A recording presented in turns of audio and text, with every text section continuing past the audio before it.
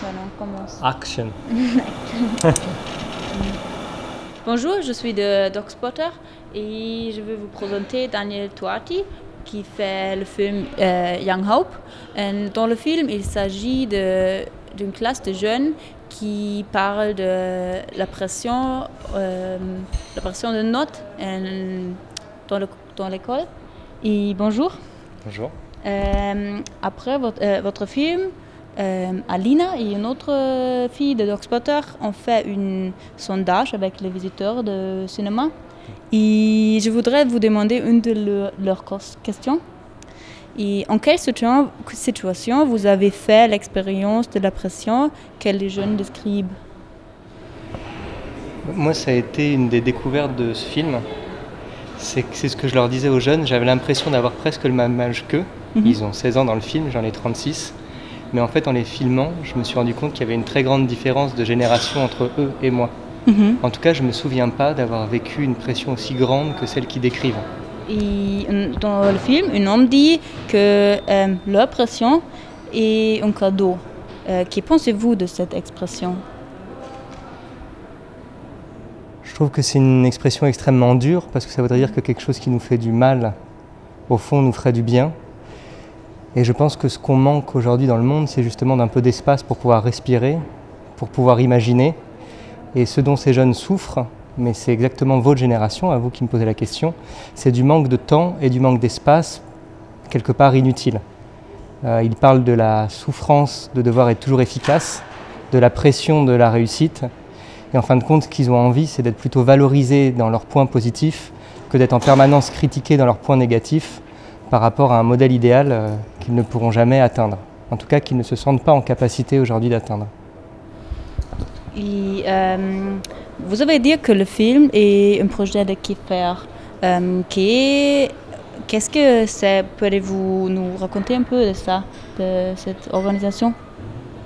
Oui, Que faire? C'est une série de 20 projets de films sur 20 territoires français avec 20 groupes de jeunes qui met au centre de chacun de ces projets la parole des jeunes et qui leur donne, en fin de compte, qui leur donne l'espace pour s'exprimer. Et euh, pourquoi c'est assez important euh, pour vous de comprendre les sentiments et les pensées de la jeunesse? Je crois que pour moi, l'âge qu'ils ont, ces jeunes, ce groupe de jeunes au centre du film, ils ont 16, et 16 17, certains 18 ans, d'autres un petit peu moins. Et si je me retourne vers l'arrière de ma vie, j'ai l'impression que c'est l'âge dont je me souviens le moins. C'est-à-dire que j'ai des souvenirs extrêmement puissants, même s'ils sont vagues de mon enfance. J'ai l'impression de penser euh, beaucoup à ma vieillesse. Je pense à l'âge que j'ai aujourd'hui, aux années que je vais vivre après. Mais l'âge 15, 16, 17 ans, c'est perdu dans mes souvenirs et j'ai beaucoup de mal à savoir qui j'étais, qu'est-ce que je pensais et qu'est-ce que je ressentais à cette époque. Donc je crois qu'un des moteurs du film pour moi, c'est ce mystère de cet âge-là, euh, qui est en fin de compte euh, beaucoup plus inconnu que l'enfance. Euh, c'est un essai de comprendre euh, aussi vous à cet âge. Oui, je pense que quand on fait un film quelque part, on se cherche toujours un petit peu en miroir euh, chez l'autre personne.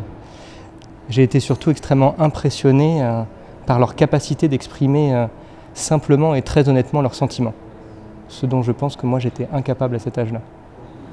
Intéressant. Hum, Et pensez-vous que la pression de notes dans euh, l'école est un pro- problème seulement de la France ou de notre société, de notre tombe aujourd'hui?